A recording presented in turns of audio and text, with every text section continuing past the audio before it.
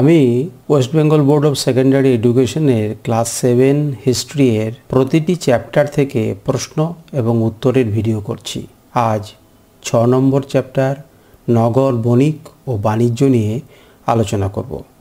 এই চ্যাপ্টারটিকে আমি তিনটি পর্বে আলোচনা করব। আজ প্রথম পর্ব। চল্লিশটি প্রশ্ন ও তার উত্তর নিয়ে আলোচনা হবে এই পর্বে। ভারতের রাজনীতি ও অর্থনীতিতে দিল্লি শহর খুবই গুরুত্বপূর্ণ। এই চ্যাপ্টারে দিল্লি কীভাবে পরিবর্তিত হয়েছে বিভিন্ন সময়, ভারতের বণিক ও বাণিজ্য, ভারতে বিদেশিদের আগমন ইত্যাদি নিয়ে আলোচনা করা হয়েছে। যারা ক্লাস সেভেনে পড়ছ বা যারা ডব্লিউবিসিএস সহ বিভিন্ন কম্পিটিটিভ এক্সামের প্রিপারেশন নিচ্ছ বা যারা জ্ঞান পিপাসু, তাদের জন্য গুরুত্বপূর্ণ সর্বজ্ঞ এর এই ভিডিওগুলো বেশি জানতে সর্বজ্ঞ ডট কম ওয়েবসাইটটি দেখতে পারো ও নিয়মিত বাংলা ইনফরমেশন জানার জন্য সর্বজ্ঞ অফিসিয়াল ফেসবুক পেজটি লাইক করতে পারো। আমি সুররঞ্জন গঙ্গোপাধ্যায়, সর্বজ্ঞ চ্যানেলে সবাইকে স্বাগত জানাই। প্রথম প্রশ্ন, নগর শব্দটি কোন ভাষা থেকে এসেছে? নগর শব্দটি এসেছে সংস্কৃত ভাষা থেকে। শহর শব্দটি কোন ভাষা থেকে এসেছে? এটি এসেছে ফার্সি ভাষা থেকে। প্রাচীন বাংলার কয়েকটি উল্লেখযোগ্য শহরের নাম কি? প্রাচীন বাংলার কয়েকটি উল্লেখযোগ্য শহরের নাম হল পান্ডুয়া, নবদ্বীপ, গৌড়, চট্টগ্রাম। মধ্যযুগে ভারতের রাজনীতি এবং অর্থনীতিতে উল্লেখযোগ্য গুরুত্বপূর্ণ শহর কোনটি? দিল্লি। দিল্লি ছাড়া মধ্যযুগে ভারতের আরও কিছু উল্লেখযোগ্য শহরের নাম কি?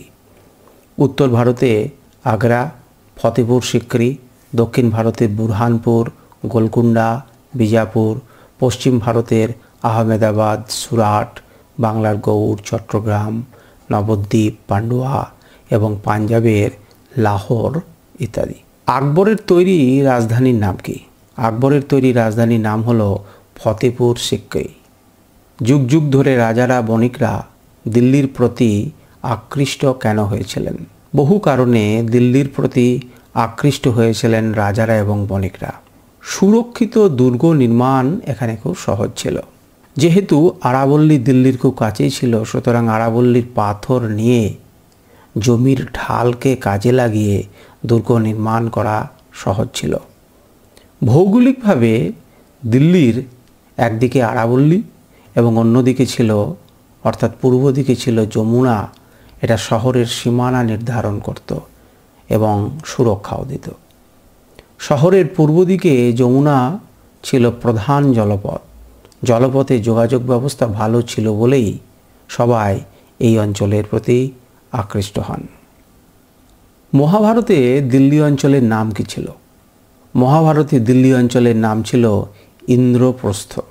কুতুবুদ্দিন আইবকের দিল্লিতে সুলতানি শাসন প্রতিষ্ঠার আগে কয়েকটি উল্লেখযোগ্য শাসকের নাম হল, যারা দিল্লি অঞ্চল শাসন করেছিলেন।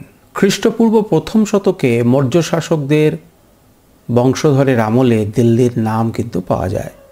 রাজপুত শাসকরা খ্রিস্টীয় একাদশ শতকে দিল্লি শাসন করত। খ্রিস্টীয় দ্বাদশ শতকে চৌহান রাজপুতরা দিল্লি শাসন করে। মধ্যযুগে দিল্লির কতগুলি নাগরিক বসতির উল্লেখ পাওয়া গেছে। না, আজ পর্যন্ত সাতটি নাগরিক বসতির উল্লেখ পাওয়া যায় দিল্লিতে। মধ্যযুগে দিল্লি শহরের উৎপত্তি এবং বিকাশের কয়টি পর্যায় ছিল? দুটি পর্যায় ছিল। প্রথমটি হচ্ছে খ্রিস্টীয় ত্রয়োদশ চতুর্দশ শতকের দিল্লি এবং দ্বিতীয়টি হল সপ্তদশ শতকে শাহজাহানের তৈরি শাহজাহানাবাদ। মধ্যযুগের দিল্লির সাতটি নাগরিক বসতির নাম কি কি? প্রথমটি নাম হচ্ছে কিলা রায় পিথোরা। দ্বিতীয়টি সিরি, তুখলগাবাদ জাহান পনাহ ফিরোজাবাদ ফিরোজ শাহ কোটলা দিন পনাহ বা সেরগাহ বা পুরনো কেল্লা আর শেষটি হচ্ছে শাহজাহানাবাদ। কিলা রায় পিথোরা শহরটির প্রতিষ্ঠাতা কে এবং কোন সময়ে প্রতিষ্ঠিত হয়? আনুমানিক এগারোশো আশি খ্রিস্টাব্দে চৌহান রাজপুত বংশের রাজা পৃথ্বীরাজ কিলা রায় পিথরার প্রতিষ্ঠা করেন। সিরি শহরটি কোন সময়ে কে প্রতিষ্ঠা করেন? আনুমানিক তেরোশো তিন খ্রিস্টাব্দে তুর্কি আলাউদ্দিন খলজি সিরির প্রতিষ্ঠা করেন। জাহান পনাহ কোন সময়ে প্রতিষ্ঠা হয়? আনুমানিক তেরোশো পঁচিশে মোহাম্মদ বিন তুগলক এই শহরের প্রতিষ্ঠা করেন। তুখলগাবাদ কে প্রতিষ্ঠা করেন? আনুমানিক তেরোশো একুশে তুর্কি গিয়াসুদ্দিন তুগলক এই শহর প্রতিষ্ঠা করেন। ফিরোজাবাদ বা ফিরোজ শাহ কোটলা কে প্রতিষ্ঠা করেন? তুগলক বংশের আরও এক সুলতান ফিরোজ শাহ তুগলক আনুমানিক তেরোশো চুয়ান্ন খ্রিস্টাব্দে ফিরোজাবাদ বা ফিরোজ শাহ কোটলা শহরটি প্রতিষ্ঠা করেন। দিন পনাহ বা সেরগাহ বা পুরনো কেল্লা এই অঞ্চলটি জমজমাট কাড়া করেছিলেন আনুমানিক পনেরোশো তেত্রিশ খ্রিস্টাব্দে মুঘল সম্রাট হুমায়ুন প্রতিষ্ঠা করেন। পরে পনেরোশো চল্লিশ খ্রিস্টাব্দে আফগান শেরশাহ এই অঞ্চলটিকে আরও জমজমাট করেন। শাহজাহানাবাদকে প্রতিষ্ঠা করেন। নাম শুনি বোঝা যাচ্ছে, মুঘল সম্রাট শাহজাহান আনুমানিক ষোলোশো উনচল্লিশ খ্রিস্টাব্দে শাহজাহানাবাদ প্রতিষ্ঠা করেন। কুতুব দিল্লি কোন অঞ্চলটিকে বলা হয়? পৃথ্বীরাজ চৌহানের প্রতিষ্ঠিত কিলা রায় পিথরাকে কেন্দ্র করে সুলতান কুতুবুদ্দিন আইবক এর আমলে সুলতানি আমলের প্রথম দিল্লি গড়ে ওঠে। একেই বলে কুতুব দিল্লি। একেই পরবর্তীকালে পুরনো দিল্লি বলা হতে শুরু করে। গিয়াসপুর নামের শহরতলিটির প্রতিষ্ঠাতা কে? গিয়াসউদ্দিন বলবন কিলোঘড়ি প্রাসাদ কে তৈরি করেন? খ্রিস্টীয় ত্রয়োদশ শতকের শেষে এটি তৈরি করেন গিয়াসউদ্দিন বলবনের পৌত্র কায়কোবাদ। নূতন শহর বা শহরি নও কে প্রতিষ্ঠা করেন? যমুনার তীরে থাকা কিলোঘরি প্রাসাদকে কেন্দ্র করে জালালউদ্দিন খলজির আমলে শহর ইন্নাও প্রতিষ্ঠিত হয়। এই শহরে আমির, সর্দার, গায়ক, বাজনদার এইসব শ্রেণির লোকেরা ভিড় করে। আলাউদ্দিন খলজি সিরি প্রতিষ্ঠা কেন করেছিলেন? মঙ্গল আক্রমণের হাত থেকে নাগরিকদের সুরক্ষা দেওয়ার জন্য একটা শক্তপোক্ত কেল্লা শহর সিরির প্রতিষ্ঠা তিনি করেছিলেন। মোহাম্মদ বিন তুগলক কোন কোন অঞ্চলকে নিয়ে বৃহত্তর শহর প্রতিষ্ঠা করার চেষ্টা করেন? কুতুবদিল্লি সিরি ও জাহান পনাহকে প্রাচীর দিয়ে ঘিরে তিনি বৃহত্তর শহর প্রতিষ্ঠা করার চেষ্টা করেন, কিন্তু তা সফল হয়নি। ইলতুতমিশের আমলে দিল্লির বর্ণনা কোন ঐতিহাসিক দিয়েছেন? ঐতিহাসিক ইসামি। দিল্লির নাম কেন হজরত ই দিল্লি হলো একসময় ইরাকের বাগদাদ ছিল মুসলমান সভ্যতার প্রাণ কেন্দ্র, সবথেকে বড় কেন্দ্র ছিল বাগদাদ। কিন্তু মধ্য এশিয়ার এই মঙ্গলরা, দুর্ধর্ষ জাতি মঙ্গলরা বাগদাদের উপরে আক্রমণ করে এবং প্রচুর ক্ষতি করে। তখন মধ্য এবং পশ্চিম এশিয়া থেকে প্রচুর লোক এসে বসবাস করতে লাগে দিল্লিতে এবং দিল্লি হয়ে ওঠে সুফি সাধকদের অন্যতম পীঠস্থান। এই কারণে দিল্লির আরেক নাম হয় হজরত দিল্লি সবচেয়ে বিখ্যাত সুফি সাধকের নাম কি? শেখ নিজামুদ্দিন আউলিয়া। ইনি গিয়াসুদ্দিন তুগলকের সময়কার। এই নিজামুদ্দিন আউলিয়াকে নিয়ে একটি গল্প আছে। একবার সুলতান গিয়াসুদ্দিন তুগলক শেখ নিজামুদ্দিনকে শহর চারার নির্দেশ দেন এবং এই নির্দেশ দেওয়ার পরে তিনি বাংলাদেশ যুদ্ধ করতে যান এবং বলে যান তিনি ফেরার আগে যেন শহর ছেড়ে চলে যান। শিষ্যরা খুব চিন্তিত হলো। এবার কি করা যাবে? তখন তিনি, অর্থাৎ নিজামুদ্দিন আউলিয়া বলেন, হনুজ দিল্লি দূরাস্ত অর্থাৎ দিল্লি এখন অনেক দূর। যুদ্ধ করে ফেরার পথে সুলতানকে স্বাগত জানানোর জন্য একটি মঞ্চ তৈরি করা হয়। সেই মঞ্চে সামিয়ানা শুদ্ধ ভেঙে পড়ে গিয়াসুদ্দিন তুগলক মারা যান। তার রাজধানী ফেরা আর হলো না।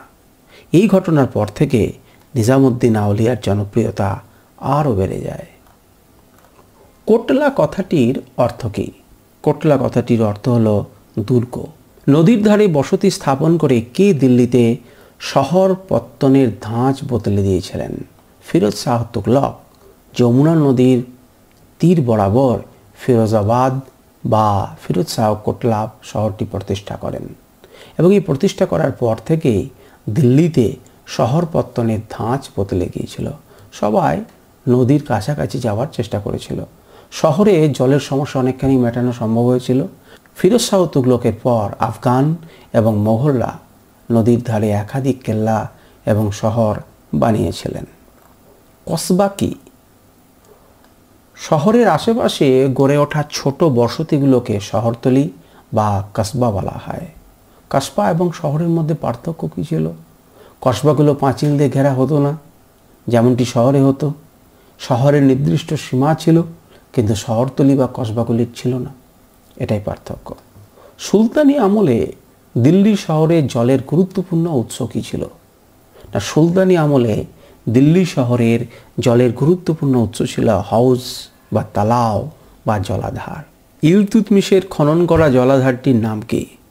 হাউজ ই শামসি বা হাউজ ই সুলতানি। ইবন বতুদা রচনা থেকে এর বর্ণনা পাওয়া যায়। এটি একটি আটকোনা জলাধার, হাউজ ই আলাইকি। আলাউদ্দিন খলজি এটি চার কোনা জলাধার খনন করেন এবং এর নাম দেন হাউজ ই আলাই। পরে নাম হয় হাউজ এ খাস। গিয়াসুদ্দিন বলবনের আমলে কাদের ভয়ে শহরের সাধারণ লোক জলাধারে জল আনতে যেতে পারত না। মেউদস্যুদের ভয়ে তারা জল আনতে যেতে পারত না।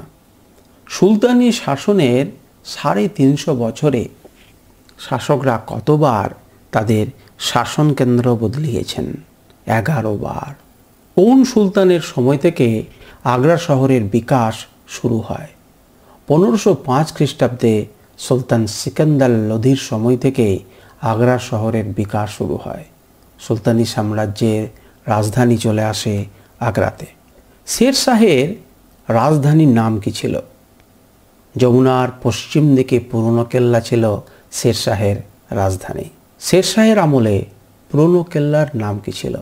শের শাহের আমলে পুরনো কেল্লার নাম ছিল কেলা ই কোহনা। আজ এই পর্যন্তই। কেমন লাগল আমাকে কমেন্ট করে জানাও। ধন্যবাদ।